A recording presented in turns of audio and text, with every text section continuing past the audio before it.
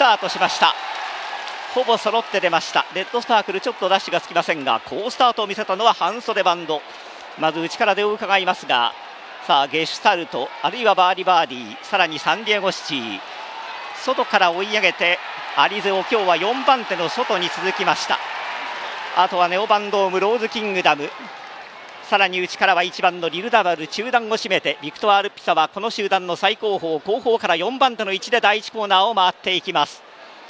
バーディバーディがペースを取ります。一馬身半のリード。2番手に単独ゲシュタルトですが内からハンソデバンド足をためます。外にはサンディエゴシティ3番手で並んで2番手グループを形成。第2コーナーのカーブを回っていきました。その後ろからわずかにローズキングダムネオヴァンドーム。外からはアリゼオが続いて向こう正面に入ります。ローズキングダム一旦この集団から控えました。さらに1番のリルダヴァル。さらに外を回って上がってきた A シンガポロンが追走して中団グループを形成。あとはシャイン。さらにその後ろからビクトアルピサ徐々に上がっていきました。ガルボ A シンフラッシュ。この集団は固まっています。社員はこの集団の後ろにいてさらにその後ろにレッドスパークルさらに3馬審査ヒルダムールは後方から3番手。800を切ってこれから3コーナーのカーブ。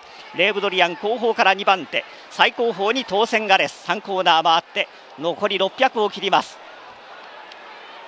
バーディバーディわずかに先頭ですが外から徐々に進出してくるゲシュタルト並んできました。3番手にサンディエゴシチーが続いて内からはハンソデバンド4コーナーカーブ残り400切りました。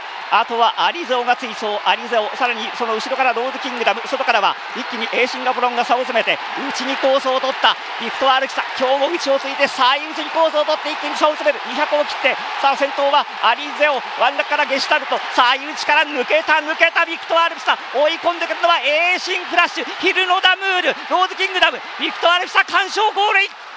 今日も最内から今日も最内から突き抜けた。